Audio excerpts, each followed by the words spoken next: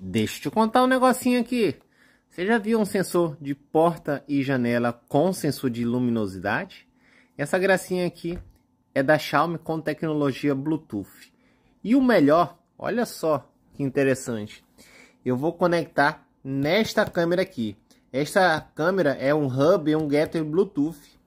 E aí, teoricamente, esse sensor vai se conectar a ela. E aí eu não preciso de nenhuma central, porque a própria câmera é uma central. Será que realmente vai funcionar? Será que eu vou conseguir criar rotinas, automações?